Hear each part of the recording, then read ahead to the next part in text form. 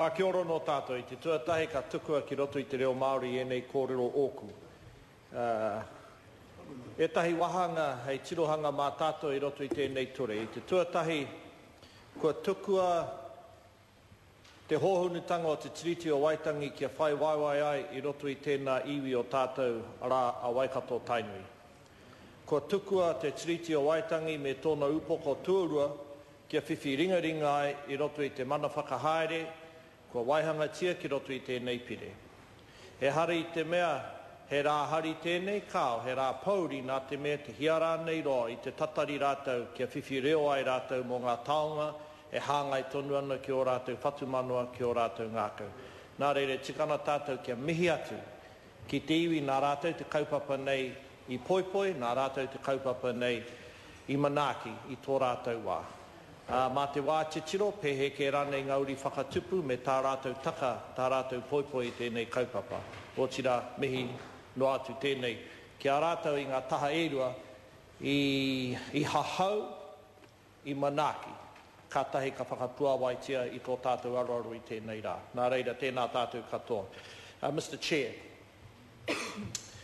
there are two aspects to this bill that are very deserving of some focus in the most positive way. The first is the real meat which is given to the concept of co management.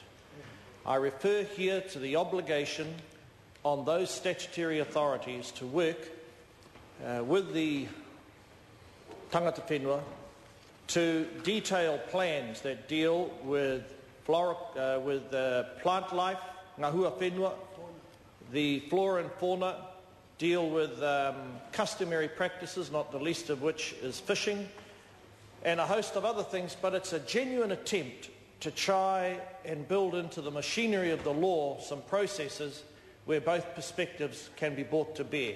And that is not easy. And this most certainly will be not the last attempt that is made, and I dare say refinements will take place in this bill in the future. But, sir, unlike our colleagues from that side of the House, we've got to trust ourselves.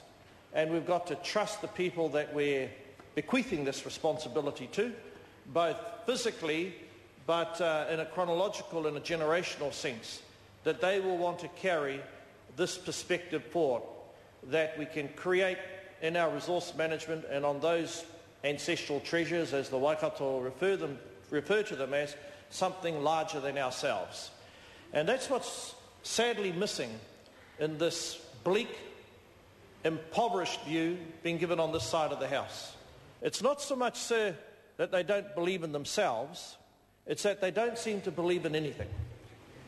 They seem to think that their status will rise, sir, by deriding, attempting to humiliate or belittle, belittle those features of identity and the current cultural mixer that represents modern New Zealand society insofar as we're dealing with the implementation of the treaty settlement. And I think that's probably, sir, the most worrying aspect. But we can derive great solace from the fact that they will not be here for long anyhow. And the Waikato Tainui will be here well beyond us and our families as they are a group whose identity is derived from a cosmic metaphor. It is a blend, sir, of the taha wairua and te taha tangata. And so that is what will actually go on to define New Zealand when we celebrate 200 years of the Treaty of Waitangi and well beyond. Not the view reflected in this Prendergastian sort of blast this afternoon, sir. And all that is doing is reminding voters that we must never surrender the future of New Zealand's race relations stewardship to such barren minds who have a very narrow and self-serving uh, agenda which is to cause themselves to grow and try and impoverish the rest of us in our zest to hand on something better to our mokopuna, to our children, so these ancestral squabbles can pass by. And that's why, sir, it's a pleasure to stand with our colleagues today. And who knows, maybe Waikato Tainui will one day be able to stop the SOEs from privatising that Huntly power station. Because, sir, they will have the first right of refusal. So this is a great Honourable day. Shane Kia ora Jones. tātou katoa. Does she want to have another one? Mr Chair. Your Honour,